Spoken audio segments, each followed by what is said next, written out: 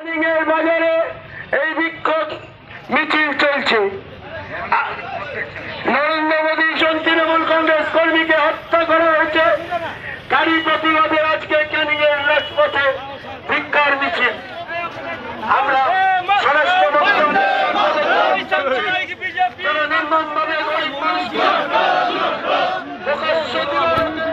কেন কংগ্রেস পুজো করতে যাচ্ছিলিস দিলাম চলে শেষ থাকে সীমা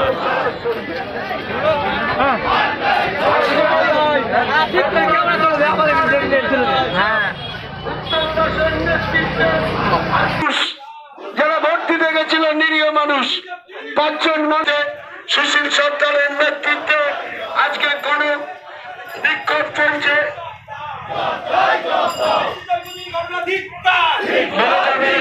চক্রান্ত তাই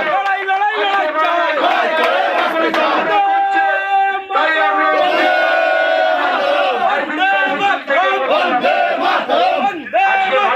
খুনি বিজেপি সরকার খুনি বিজেপি সরকার তাকে বিজেপি দত্ত এই ভারতবর্ষের অপদার্থ স্বরাষ্ট্রমন্ত্রী অমিত শাহ পদত্যাগ চাই। আজকে দেশ ছেড়ে পশ্চিমবঙ্গে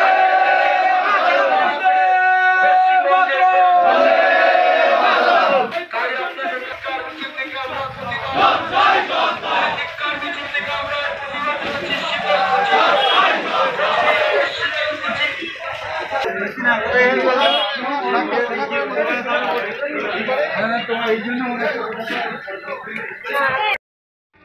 অমিত শাহের পদত্যাগ চাই। অমিত শাহের পদত্যাগ চাই। প্রধানমন্ত্রী নরেন্দ্র মোদীর পদত্যাগ চাই। অমিত শাহের পদত্যাগ চাই।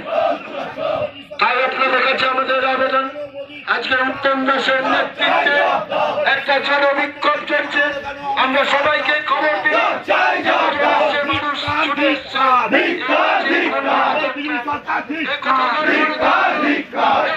সংস্কৃতি না মানুষ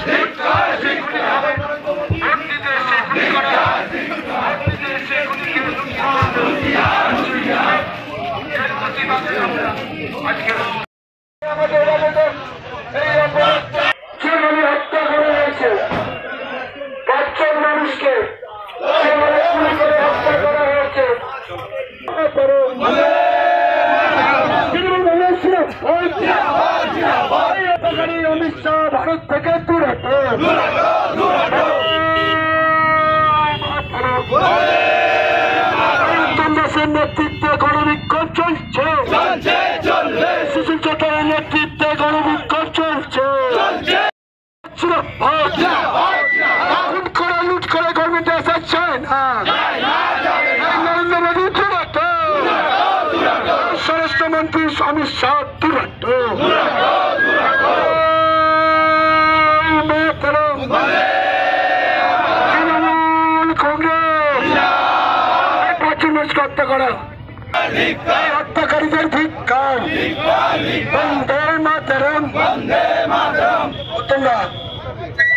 চতুর্থ দফা নির্বাচন ছিল, দশ তারিখ ছিল।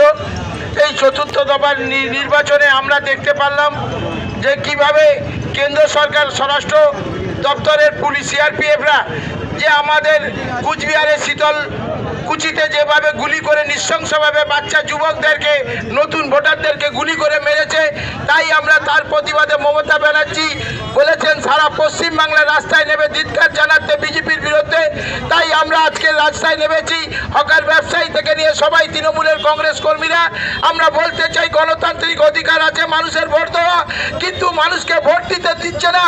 সিআরপিএফ সিএফ ফোর্সগুলো দিয়ে কেন্দ্র সরকার যেভাবে প্রচার করাচ্ছে, তাদেরকে বলছে ভোটারদেরকে লাইনে দাঁড়িয়ে আপনারা পদ্মফুলকে ভোট দিন পদ্মফুলকে ভোট না দিলে লাইনের উপরে ডান্ডা চার্জ করছে নৃশংসভাবে মা বোনদের উপরে অত্যাচার করছে গুলি করছে তার প্রতিবাদে আজকের আমাদের কু- শীতলকুচিতে প্রতিবাদ করেছিল যুবকরা যে আপনারা কেন আমরা তোমার চলছে? তৃণমূল কংগ্রেস যে উন্নয়ন করেছে তাহলে আমরা সেই উন্নয়নের মধ্যে দিয়ে ভোট দেবো আমরা কেন বিজেপিকে ভোট দেবো না বলে আমরা প্রতিবাদ করেছিল, তার জন্য তাদেরকে গুলি করে তত্তাজা বাচ্চা যুবক ছেলেদের মারা গেছে। তাই আমরা বলতে চাই যে নরেন্দ্র মোদী, এই বাংলায় যোগী, এসে আমাদের নাড্ডা থেকে অমিত শাহ যেভাবে উস্কে দিচ্ছে, যে মেরে পিঠে যে কোনো প্রকারে বাই হুইপ আমাদের বিজেপি সরকার ক্ষমতা আসতে হবে, সেই ক্ষমতা আসতে গেলে যেভাবে টাকা ছড়াচ্ছে, যেভাবে মানুষদের উপরে সিআরপিএফ অত্যাচার করছে, আজকের সেইখানে দাঁড়িয়ে আমরা তৃণমূল কংগ্রেস, আমরা উন্নয়নের মধ্যে দিয়ে আমরা ভোট করতে চেয়েছিলাম, কিন্তু আমাদের উন্নয়নকে পুলিশের প্রশাসনকে দিয়ে মুখ বন্ধ করে দিয়ে অত্যাচারের মধ্যে দিয়ে কেড়ে নেওয়ার চেষ্টা করছে। তাই আমরা তৃণমূলের কংগ্রেস কর্মীর বাইরে বলতে চাই, আমরা জীবন থাকতে ছেড়ে দেবো না, আমাদের শরীরে রক্ত থাকতে ছেড়ে দেবো না আমরা সারা ক্যানিংয়ের না, সারা পশ্চিমবাংলা মানুষ গড়তে উঠেছে। এর প্রতিবাদে আমরা দু তারিখের পরিবারে পরেই আমরা তোমার হচ্ছে এই সব নৃশংস গুণী মানুষদের যারা ভোটে দাঁড়িয়ে নিরীহ মানুষ, নতুন ভোটার ভোটার হয়েছিল, তার পরিবাররা কি দোষ করেছিল, গুল, গুলি করেছে, তার কোনো ক্ষতিপূরণ বা তার কোনো রকম বিচার, কোনো রকম ফুটেজে দেখাতে পারিনি যে ওরা লিখেছে আজকে পেপারে তারা নাকি দলবদ্ধ হয়ে বন্দুক কাটতে এসেছিল, কিন্তু নির্বাচন করছে সিসিটিভি বুথ থাকতে, তাকে কোনো রকম ক্যামেরা থাকতে, কোনো রকম ফুটেজ দেখাতে পারিনি। তাই ওরা জোর করে এই চতুর্থ দফা ভোট, ভোটেতে যে নৃশংস খুন হয়েছে, এখনও চার দফা বাকি আছে। আমরা বলতে চাই, তৃণমূল কংগ্রেস কর্মী ভাইরা, আমরা সজাগ হই, আমরা দাঁড়িয়ে যাই শক্তি আছে তোমার হচ্ছে প্রতিবাদ করতে হবে, নাহলে কেন্দ্র সরকার, বিজেপি সরকার যেভাবে শেষ করে দিচ্ছে দেশটাকে, আমাদের বেকার যুবকদেরকে শেষ করতে হবে, আমাদের যে বাংলার উন্নয়নকে শেষ করতে হবে তাই আমরা তোমার চলছে এর প্রতিবাদে রাস্তায় নেবে বিক্ষোভ করে জানাতে হবে। আমরা বলতে চাই, যারা এখনও ভোট বাকি আছে, সারা পশ্চিম বাংলায় যাতে তৃণমূল কংগ্রেস যদি না জিতে আসে, মা বোনদের সম্মান, ইজ্জত থাকবে না, ব্যবসায়ীদেরকে ব্যবসায় করতে পারবে না, বাজারে দ্রব্যমূল্য আকাশ ছোঁয়া দাম হয়ে গেছে। আজকে সেই জায়গায় দাঁড়িয়ে আমাদের যে নৃশংস বাঙালির ছেলেদেরকে খুন করেছে তৃণমূলের, তার পরিবার বর্গকে আমরা সান্ত্বনা দেবো, আমরা যাব তার পরিবারকে নিয়ে। কোর্টের আইনের ব্যবস্থায় আসব যে কেন তারা অধিকার আছে, গণতান্ত্রিক অধিকার ভোট দেওয়ার তাদেরকে কেন গুলি করে মেরেছে? মমতা ব্যানার্জি বলেছেন, আমি দ্বারস্থ হব রাষ্ট্রপতি থেকে শুরু করে রাজ্যপাল থেকে শুরু করে হাইকোর্ট পর্যন্ত, সুপ্রিম কোর্ট পর্যন্ত। তাই আজকের আমরা তার জন্য আমাদের দলের কর্মসূচিকে পালন করছি। এই বলে সবাইকে নমস্কার, সালাম জানিয়ে আমার বক্তব্য শেষ করছি। এখনও চার দফা বাকি আছে।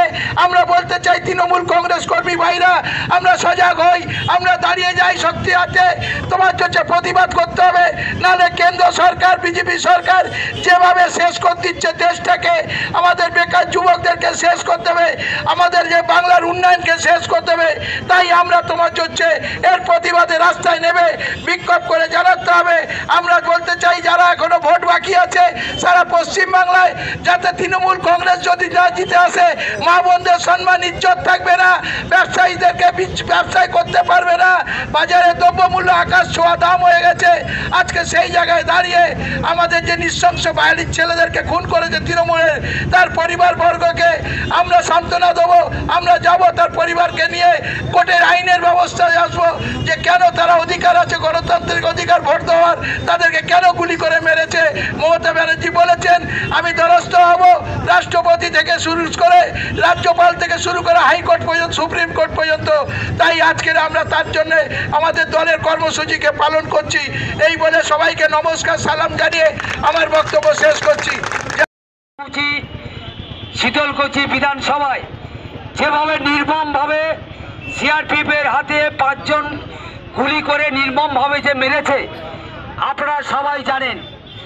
আজকে তার একটাই মাত্র কারণ, আপনারা জানেন যে ওই শীতলকুচিতে শীতলকুচিতে সাড়ে সাতশো ভোটার। সেই সাড়ে সাতশো ভোটারের মধ্যে পাঁচশো ভোটার হচ্ছে মাইনরিটি মুসলিম। আর আড়াইশো ভোটার হচ্ছে শিডিউল কাস্ট এবং ওবিসি।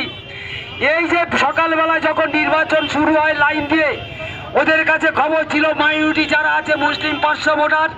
এবং হিন্দু ভোটার তারা সারিবদ্ধভাবে তৃণমূল কংগ্রেসে তৃণমূল কংগ্রেসে ভোট দিচ্ছে।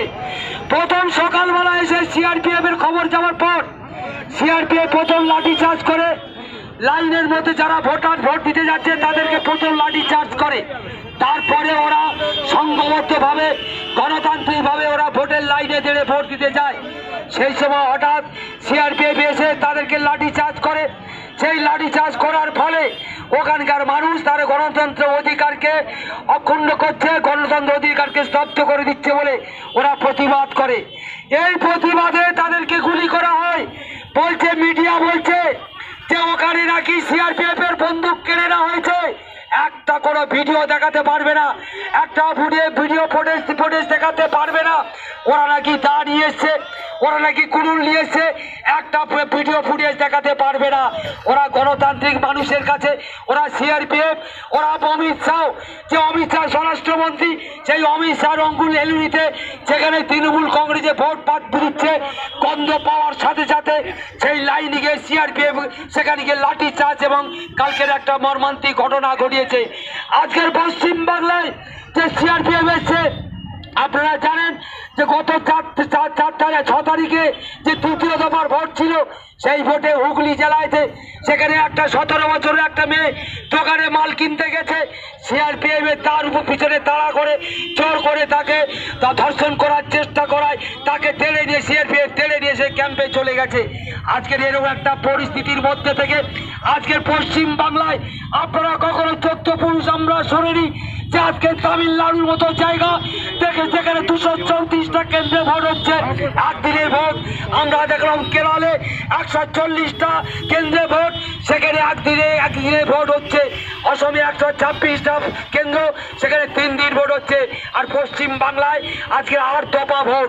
বাংলায় যেভাবে সিআরপিএফ মিলে যেভাবে গণতন্ত্রের হত্যা করছে, স্বরাষ্ট্রমন্ত্রীকে আমাদের দিদির নির্দেশ আমরা বাংলা জুড়ে স্বরাষ্ট্রমন্ত্রীকে পদত্যাগ চাই পদত্যাগ চাই পদত্যাগ চাই। আজকের সমস্ত জায়গায় পরিকল্পনা আজকের মমতা বন্দ্যোপাধ্যায়কে হারাতে হবে। আপনারা জানেন আপনার রাজ্যপাল একটা স্বশাসিত, সেই রাজ্যপালকে রিক্রুট করেছে বিজেপির নেতা হিসেবে। আজকে তার রিপোর্টের উপরে, আজকে পশ্চিম বাংলা বলছে আজকের মারামারি কাটাকাটি, তাই আর্ধবা ভোট। আপনারা জানেন যে আজকের ক্ষমতার জন্য এই বিজেপি মানুষকে খুন করা, দ্বিধাবোধ করবে না।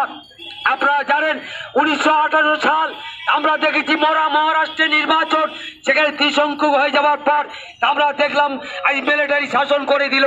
ঠিক তেরো দিন পরে ক্ষমতার টাকা দিয়ে কিনে নিয়ে শারদ পাওয়ারের ভাইপো অজিত পাওয়ার, যে নাকি সমবায় ব্যাংকে সত্তর কোটি টাকা কেলেঙ্কারি ধুয়ে মুছে চলে সে ভালো হয়ে গেল। তাকে নিয়ে এসে আমরা মহারাষ্ট্রের মতো জায়গা হঠাৎ দেখা গেল, মহারাষ্ট্রের রাজ্যপাল ভগৎ সিং পাঁচটা দশ সেই সময় দেখা গেল সমস্ত বিধায়ক